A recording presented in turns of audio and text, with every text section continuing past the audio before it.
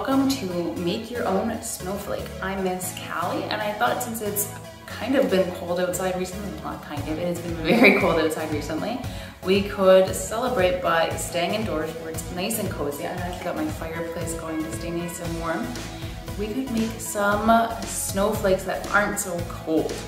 All right, so I'm going to use mine to decorate around my house. You can do whatever you want with yours. Put them up in your window, put them up in your room, um, wherever you'd like.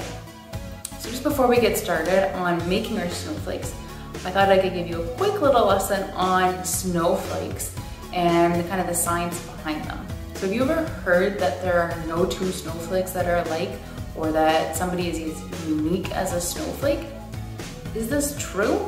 How do we know this? Um, in one just snowball, there could be millions of snowflakes. So how can we know whether they are unique or not? Um, so quick answer is yes, it is true. Uh, snowflakes are unique. As far as scientists can tell, there are no two that are alike. But to understand that, let's quickly talk about how they're made. So a snowflake is made when a teeny tiny, minuscule um, dust particle has water particles land on it and attach themselves to it. Now when it is water, the molecules move around super quickly and are all over the place. But as they start to get colder and to freeze, they slow down and they actually stop moving. And that's how you get as hard as ice or snow. Um, and when they um, stop moving, there's no way to predict how they're going to land or in what position they're going to stop. What we do know is that initially they're going to form a hexagon shape. Um, this is due to the way the water molecules are made up. They like to be in a hexagon. So that's the basic for basis for all snowflakes, which you're actually going to see in one of the templates. So that's the basis, and then um, more water molecules might start to join this snowflake and freeze on. And this is where they become truly unique because as the water molecules land and freeze, they can do it in obviously millions and billions of different ways. They can kind of go in an offshoot, there can be pieces coming off of that, they can reconnect. Um, it's all very unique.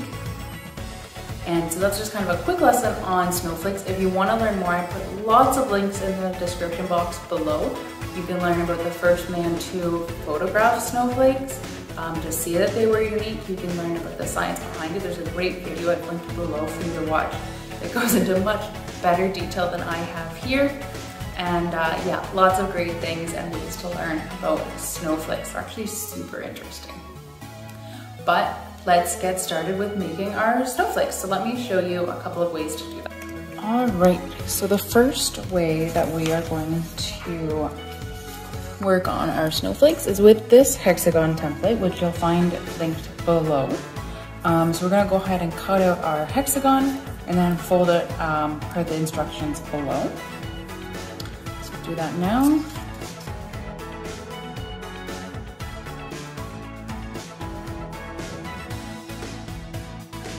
Now, if you don't have a printer or you're unable to download it, you can just draw a hexagon on a piece of paper and cut it out. You just wanna make sure that the sides are all even. Actually, what I'm gonna do before I fold my hexagon is I'm going to actually trace it.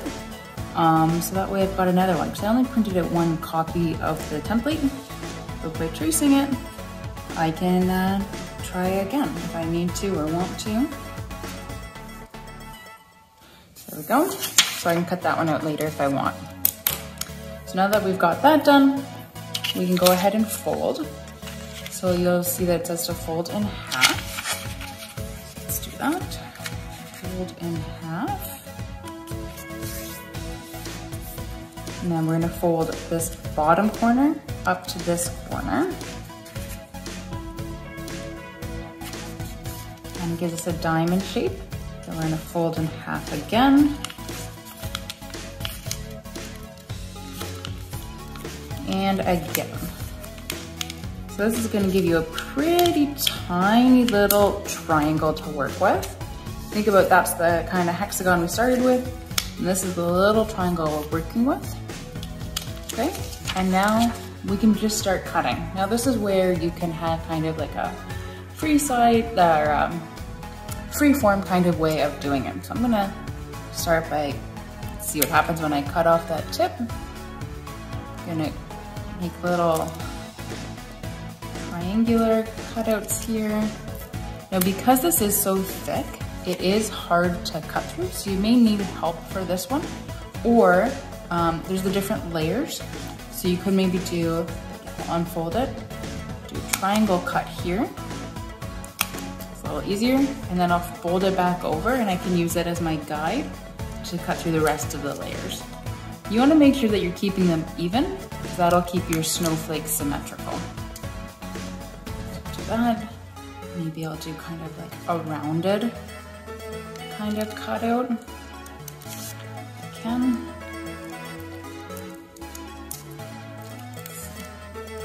Super round. But there we go. So let's see what this looks like. Now one thing to note is that when you are doing it this way, it, will make sure that your snowflake is symmetrical. So you'll see that this is in here, and these cuts are here. So you kind of see it's not the best snowflake, but it is one that I made just kind of trying it myself. So that's one way to do it. Another way is by using this website. Okay, so with this website, we're going to use our hexagon template again and cut it out.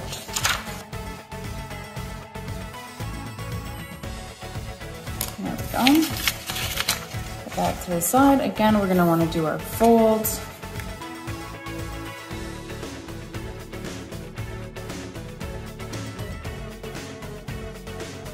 Now you can see that if I hold it this way, it is the same shape as what we see online. So I'm gonna set this aside for now and go to the computer. And this is where we can try out making our cuts without committing to a snowflake yet, so we can see what we like. So this is where we're gonna work on this side. So I'm just going to, I'm gonna cut off the tip again, and we'll see what that looks like. So, let's go make snowflake. Because you can actually see what it looks like step by step. So by cutting out the tip, you know you're gonna get a hole there. What if I do a triangle here? So make snowflake. Oh, it'll do that. Okay, what if I cut off this corner? You wanna make sure that you're connecting all of these dots so that way it knows what kind of shape you're cutting out.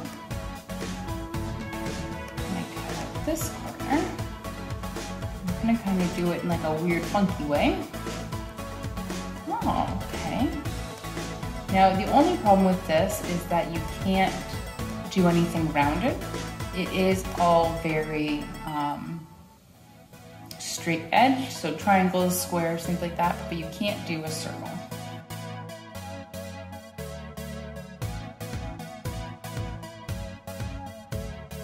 So now I've got something to work off of and I'm going to try and replicate those cuts on my piece of paper. So you wanna make sure that it's oriented the same with the point down and it kind of doing an angle up this way so it'll look the same on the computer as it does in your hand. So I'm gonna start by cutting off this. And I did, hmm, I did a funky cut here. So let's try to replicate that. The good thing about these snowflakes is there is no right or wrong way to do them, right? It's exactly what you create. So if you make a mistake, nobody's actually going to know unless you tell them.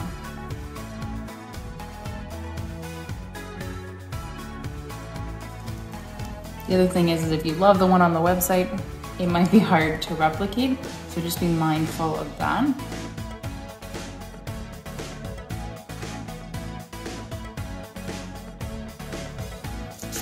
Relatively speaking, of course, since this is quite small. And once you get the hang of this, your snowflakes don't have to be on white paper, right? They can be on any paper you've got around the house. You know, construction paper, colored paper, I'm using scrap paper. Um, it just kind of gives a different look to your snowflakes when you use different paper.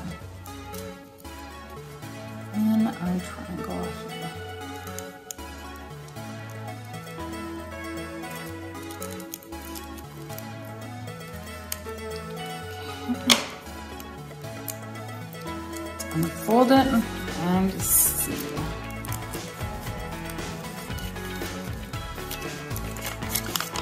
And there we go. It's not too far off from what I created on uh, the website. So I think that's actually pretty good. Get my hands underneath it so you guys can see against the white uh, background here. There we go, there's our second snowflake. All right, if you're still feeling stuck, there are more links below with templates.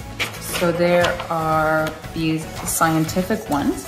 So this one's gonna create an Erlenmeyer flask if we follow the instructions on this.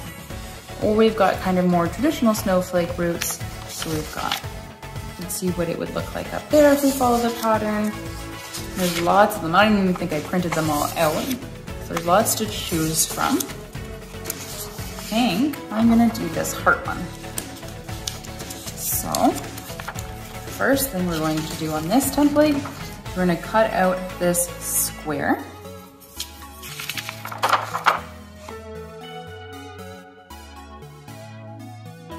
And this is another folding technique that you can use. Instead of the hexagon method, you can do the square method. So you don't have to use the template if you don't want to. You can just get a square piece of paper, cut out a square from any paper you've got around the house. And then we're gonna fold diagonally. I'm gonna flip it over so that way I can still see my template on the other side. Fold it diagonally. And then we're gonna fold it in half along this line get a smaller triangle.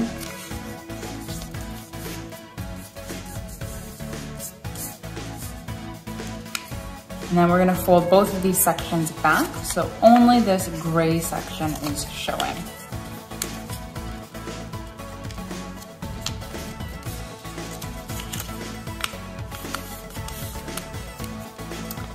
Let's see if I've done this right, because I'm not sure if we're supposed to have these tails but we will see. Yep, okay. I just double checked the website and we are supposed to have these tails. That's normal. So now what we're going to do is cut away all of this gray bit, okay?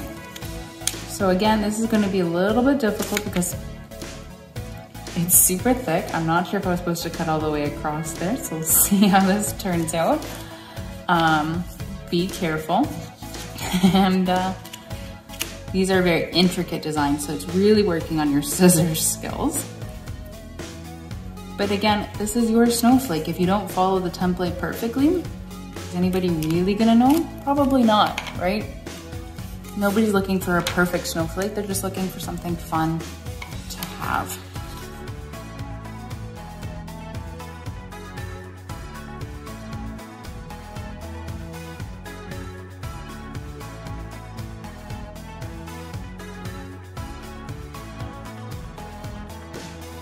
All right, so I've cut away all of the gray bits. Let's unfold it and see what it looks like. Be very careful that I'm unfolding it and not ripping it. There are so many folds and this is such a delicate template. So many intricacies to it. But there we go. There is my heart snowflake. Not bad. I think I missed a piece here maybe when I had to cut that tip because of, um, or not had to, but I did cut that tip. Um, so it should be held together a little bit more here, kind of like a donut shape if you compare that to the template. Other than that, I think we did pretty good. So the final one is a scientific template, and this is the round template. I'm gonna go ahead and again, cut out my circle from the template I printed online. They've got really complicated um, templates. You can make people's famous scientists' faces, you can make telescopes, you can make an astronaut, you can make all kinds of cool things, but I just picked this flask mainly because um, it's an easier one. And for those other ones, you actually might need, instead of just a pair of scissors, you might need a um, X-Acto knife or uh, like a box knife, something like that, because there might be parts that you need to cut away that aren't connected to the sides of the template. So if you do choose one of those, be super, super careful um, and make sure that you do have an adult's permission or maybe even just ask for their help um, to make sure that everything is as safe as can be. There we go, we've cut that out. Now, for this one, they've labeled which ones are the folds. So we're gonna fold the paper at all the lines indicated. So this is fold one, so we're gonna fold it in half this way. And fold.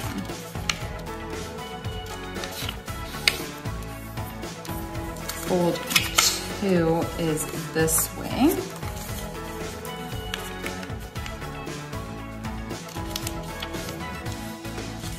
Fold three is along here. Fold back over. And then fold four. So just like the other ones, you just wanna have a small section of the template or the piece of paper out um, for you to work on. Start, again, you cut away the gray bits see if we end up with some flasks at the end. This one I thought might be fun because the snowflakes are quite, quite the science behind them. It might be fun to do kind of a science-based snowflake.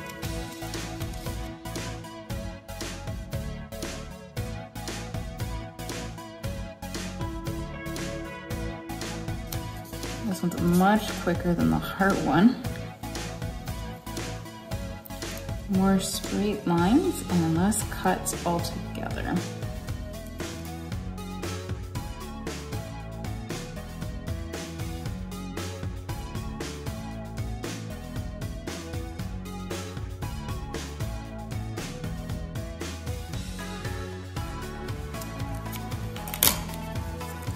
Okay, there we go. The great thing that I like about templates is that yes, it's gonna be creating exactly what somebody else came up with, someone else's idea of what to do for a snowflake, but it gives you an idea of how, when you fold it, whether you do the circle, the square, or the hexagon technique, um, because you can use any of these without the templates, right? You just cut out a circle or a square or a hexagon and you do the folds and you can create your own snowflake but it makes you think about how to get little cuts like this because you had it folded over or that you can make a nice big circle out here by cutting off that tip of the triangle, right? So it just kind of helps, for me at least, um, to think about how making those small cuts now can turn it into a bigger design later. So this is all the ways to create paper snowflakes. All right, now that I've shown you how to make them with paper, there's actually some great ways to do it on the computer. So you can use Tinkercad to create a um, unique snowflake. So Tinkercad, if you haven't used it before, is a free online software that's most often used to design 3D prints. And so there's a cool um, instruction sheet, again, linked below, um, that you can work through that'll show you how to make a snowflake. And that's something that you, because it's made in Tinkercad, it is something that is possible to print it. And another way is to use Scratch. So some of you might have used Scratch before. I know um, my friend Daniel has shown some videos with Scratch, um, with Kirby the Turtle, and all kinds of fun things you can do with that, making games. Um, but it is a coding software, so you can use it to make the snowflakes and you can even have the computer help with the randomization of it as well. Now I'm not going to outline that today, so that will make this a very long video. But again, I've put those resources down below, so I really encourage you to check out that description box for all kinds of great things for you to do and to keep working on your snowflakes. So I just wanted to say thank you all for joining me for this program. I hope you had lots of fun, learned something new maybe about snowflakes, and um, made some great decorations. I can't decide if this a funky science-based one or my super intricate heart one is my favorite. But I do know that I had lots of fun making these and I plan on making a lot more. Um, feel free to share your snowflakes with us, especially if you've come up with something unique and creative that we haven't seen before. We would love to see it. You can tag us on social media or email it to us. I hope you guys had fun and have a great day. Bye!